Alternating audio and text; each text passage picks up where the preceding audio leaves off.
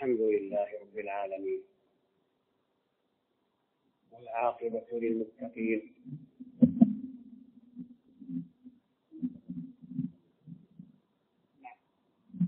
أشهد أن لا إله إلا الله وحده لا شريك له.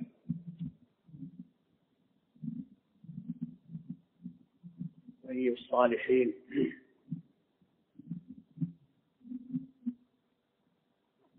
وأشهد أن محمدا عبده ورسوله. سيد ولد آدم أجمعين. صلى الله عليه وعلى آله وأصحابه الطيبين الطاهرين. وسلم تسليما كثيرا. أما بعد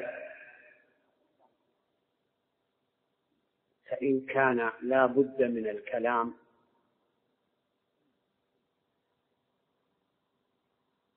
وإن كان ثمة إضافة فإني أسهم في هذه الجلسة التي أسأل الله أن يجعلها مباركة علينا وعليكم ببعض الكلمات. أقول وبالله التوفيق.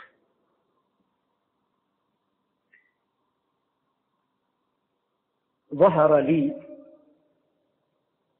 من خلال معايشتي القليلة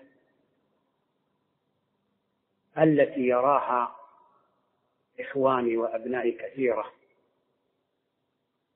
للشباب ومشاكلهم وتذبذب الكثير منهم. وذهاب بعضهم مع العواصف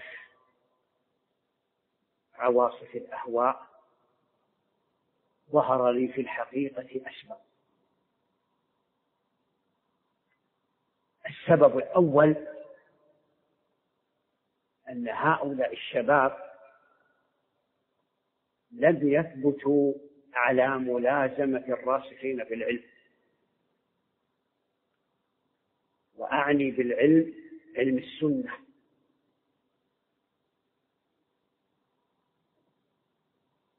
وهو العلم الذي تستبين به معالم المنهج السلفي. فكثير منهم لاحظناهم من يذهب ذات اليمين وذات الشمال حتى يقع في شراك في في الشبهات والتلبيسات. وكان الأجدر لهؤلاء الشباب أن يلزموا علماء السنة وفقهاء المنهج السلفي فإنه بهؤلاء أعني أولئك العلماء علماء السنة تكون الوقاية والحصانة من الوقوع في شراك الشبهات. فلما لم يركضوا ويوطنوا أنفسهم على الملازمة ويصبروا أنفسهم على الأخذ عن هؤلاء العلماء وأحبوا العاجلة تعجلوا أمرهم فوقعوا في الشبهات فقلبت عليهم الحقائق ولبس لهم البدع في لباس السنة. السبب الثاني قلة الفقه في الدين. فإن كثيرا من الناس من ينتمي إلى السلفية ويرفع بها عقيرته ويصدع بها لكنه لم يقبل على العلم وإنما مجرد عاطفة ومحبة فهذا الصنف سرعان ما يأتيه حداد الألسن فيغيرون وجهته ويحولونه إلى ما يريدون لأنه ليس عنده من العلم ما يدفع به الشبهات ويرد به على الأباطيل.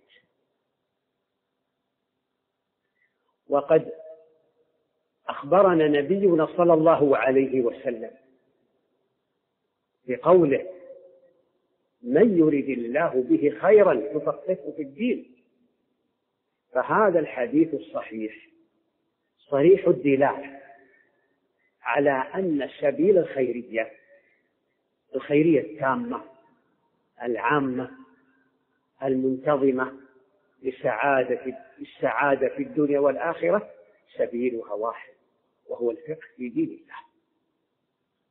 فإن من لم يكن فقيها في دين الله ويعرض نفسه للمجالس المشبوهة ويزج بنفسه في حمأة المعارك التي لا يستطيع أن يخوضها وليس عنده من السلاح ما يجاهد به يوقعه في الهلك ويطير مع العاصفة.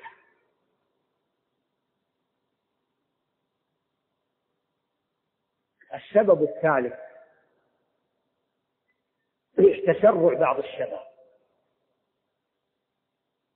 في الاستكشاف كما يسمونه الاستطلاع. ومعرفة ما عند الآخرين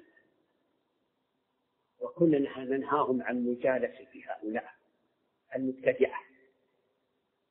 ونحثهم على لزوم السنة وأهلها. ونقول لهم لا عليكم من هؤلاء. نحن والله نحب, نحب ونحن والله نحب الهداية للجميع. ونشفق أن يقع ونشفق على من وقع في البدعة. ولو كان بأيدينا من الأمر شيء لحلنا بينه وبين البدعة. بما نستطيع لكن ليس ذلك إلينا. نحن علينا هداية البيان. وهؤلاء لا يملكون البيان. فيغشون المجالس ويقعون في الشراك. هذا يعني ما تيسر لي في هذه الليلة. ولولا أني دعيت إلى الكلام ما تكلمت لأنه في الحقيقة ليس بعد ما أدلى به شيخنا حفظه الله وبارك له في عمره وعمله مزيد تعليق ولا إضافة. ولكني دعيت ولا بد لي من الإجابة. وصلى الله وسلم على نبينا محمد وعلى آله وصحبه أجمعين.